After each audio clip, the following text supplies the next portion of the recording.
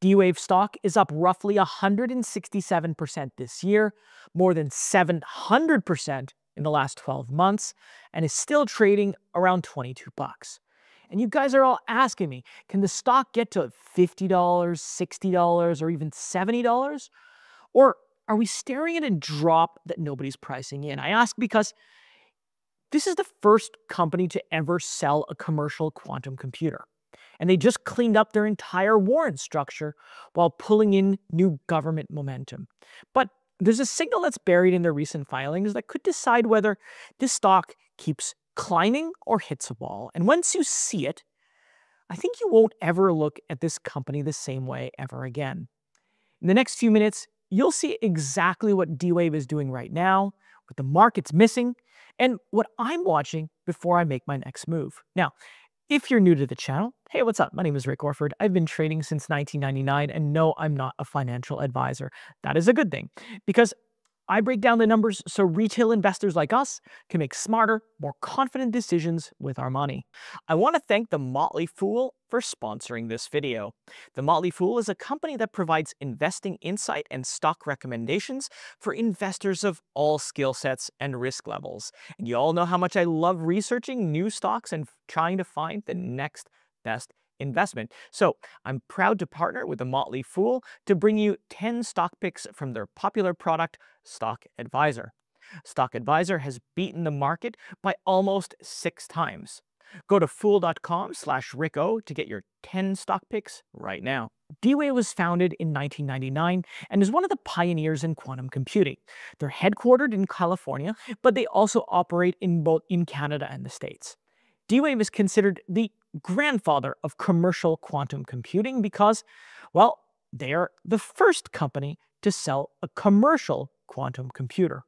D-Wave builds computers designed to solve extremely complex optimization problems, the kind where there's millions or even billions of possible outcomes. Think of planning shipping routes across massive oceans. A classical computer might take years to identify the most efficient path, but a quantum system from D-Wave could narrow it down in hours or even minutes. D-Wave's primary customers today are the big companies, enterprises, and government agencies. You know, they're in manufacturing, logistics, financials, pharmaceuticals, and even the defense industry, including companies like uh, Volkswagen and Lockheed Martin. And instead of only selling machines, D-Wave is also offering cloud access through its Leap service.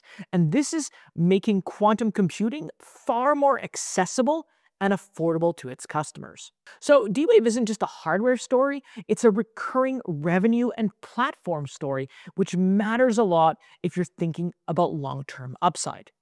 The company was once also at the center of controversy in the industry because it focused on quantum annealing rather, rather than the general purpose gate model that's used by Google, Microsoft, and IBM. What's the difference? Well, without getting too technical, gate model quantum computing uses a precise program to solve any type of problem. So let's call it a general purpose approach.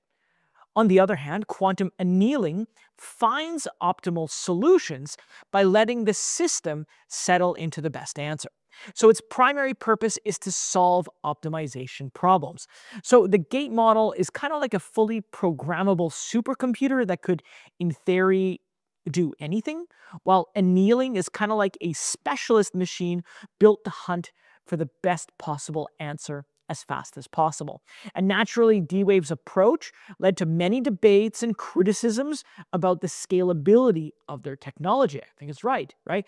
Some say quantum annealing is limited to only specific problems, but a few years ago, D-Wave announced a platform that combines both annealing and gate model quantum computing, which basically ended all of these debates once and for all. Now, if they can execute on both of those approaches, they're no longer defending their own niche, they're potentially expanding their total addressable market in a very big way. But let's talk about what really matters to us as retail investors and look at D-Wave's recent stock performance. Last time I covered D-Wave stock, the stock was trading around $29.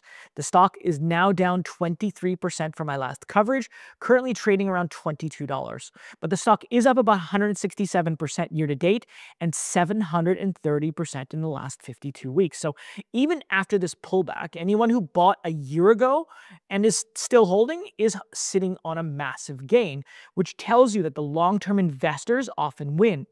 But can the stock recovery. Well, can it hit $50, $60, or even $70 next year? Well, this all came up in my Discord channel recently, and it's normal because if you're thinking about buying, selling, or just holding, you do need to understand what's driving the stock today. Earlier this month, D-Wave announced that its Advantage 2 quantum computer is now up and running at Davidson Technologies headquarters in Huntsville, Alabama.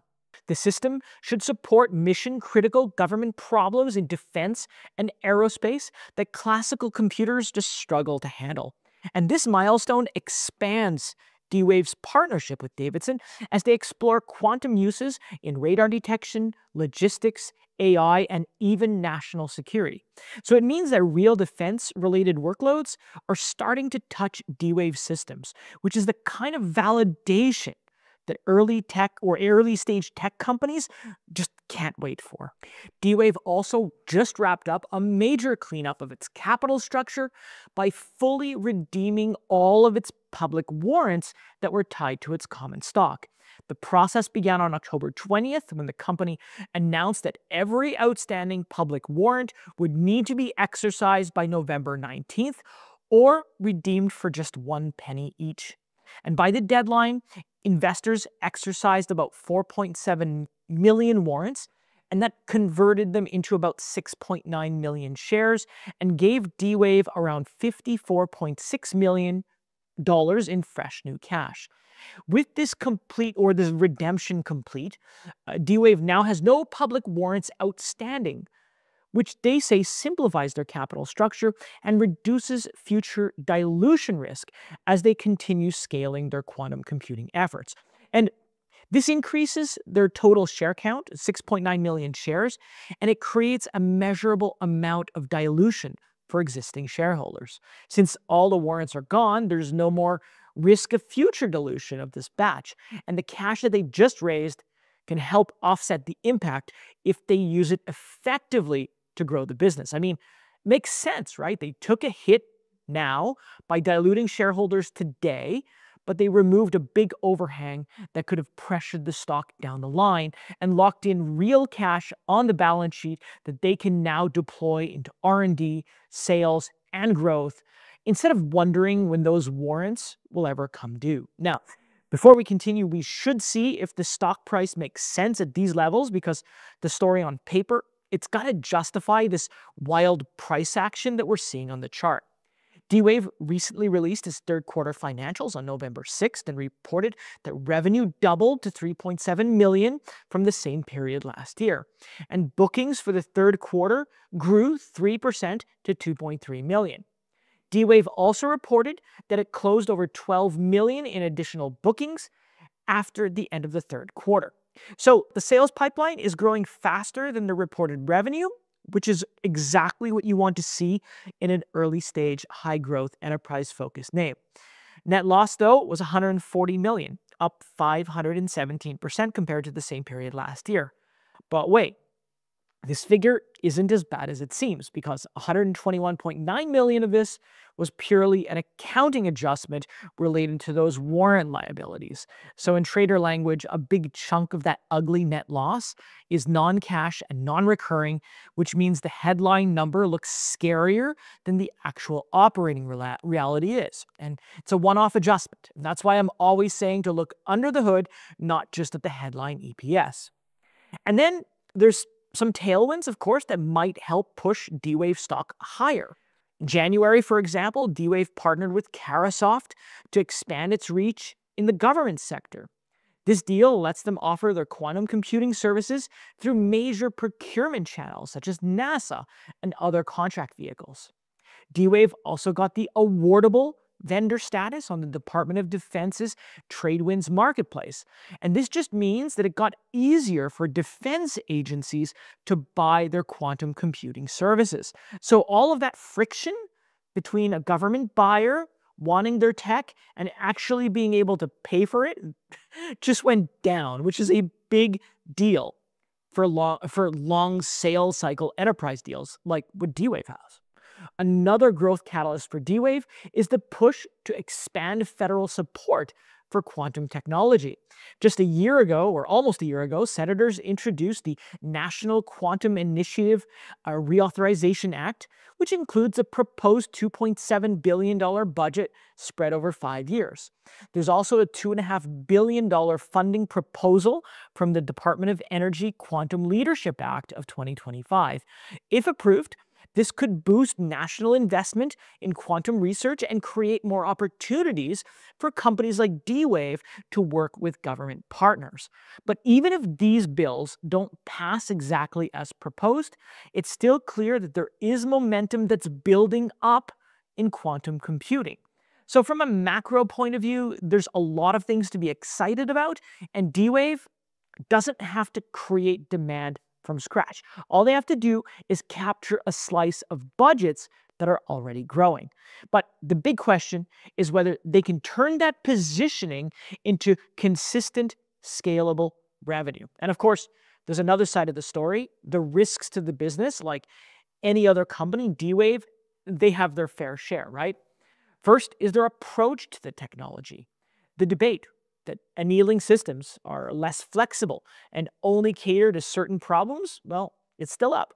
While D-Wave did announce a new platform that includes the gate model quantum computing, their primary approach is still quantum annealing. So they're still seen by many as a specialist player, not a full stack general purpose quantum platform. And that perception matters because well, imagine you're a big buyer and you're deciding where you're going to want to place your long-term bets. Who do you go with?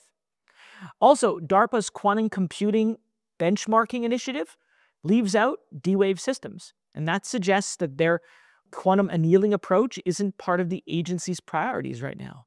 But it doesn't prevent them from pursuing government work, but it does show you that DARPA is currently focused, or at least more focused, on other quantum technologies. If, if D-Wave doesn't continue expanding into gate model systems, they could face limits in accessing certain government contracts and funding programs. But even so, this doesn't look like a long-term risk for the company, especially now that they have began, begun to move into the gate model, uh, computing model alongside their annealing approach. So they still have time to pivot deeper into what the broader ecosystem is wanting and favoring. They just need to execute, not just announce roadmaps. Another major and obvious risk is the gap between revenue and valuation, right? D-Wave currently has a price to sales ratio of 917. That is insanely high um, and unsustainable. Price to sales ratio implies that this high, it implies that the company generates very little revenue relative to its valuation. And it's true.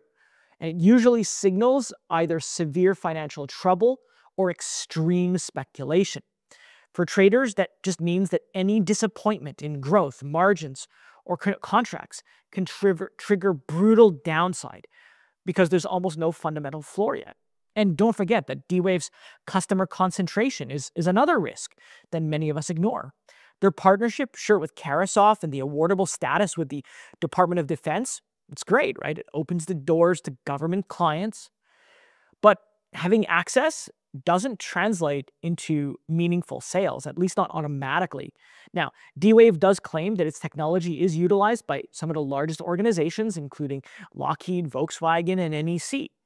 But if only a handful of large customers account for most of their revenue, Losing even one could seriously damage their top line and bottom line. And if that happens, that could trigger an instant sell off long before anyone has any time to sort out the details. So, this is just a name you can't not just buy and forget. You have to watch the customer updates, the contract announcements, and renewal activity very closely if you're in the trade. So, with all that, I know you want to know is D Wave stock a buy at these levels? Well, here's where something gets really interesting, right?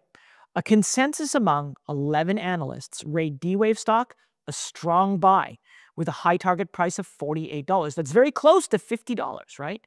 And it suggests as much as 140% potential upside from the stock's recent closing price. And the average score is 4.73 and has remained almost unchanged, or it has remained unchanged in the last three months. This is very rare. A near perfect score from 11 analysts with this much upside and no profit yet? And at this point, I see why right? D-Waves hit some meaningful milestones from activating the Advantage 2 system for government use to cleaning up its capital structure with the, the full warrant redemption, although at the cost of a little dilution today. The company now faces a clearer financial path plus a stronger reach within federal clients. And for investors like us, this remains a high potential, high volatility story that rewards patience and disciplined expectations. Now, if you followed me long enough, you know that I invest in profitable businesses, right? They make net profit. But I have to say, this case is very compelling. But what do you think? Are these catalysts enough to turn things around? Let me know your thoughts in the comments below. And while you're there, if you found the video helpful, don't forget to like and subscribe because it'll help others find the video. It'll support the channel and you won't miss out on any of my future deep dives. Well, folks, that's it for me today. I want to thank you so much for watching and I'll see you next time.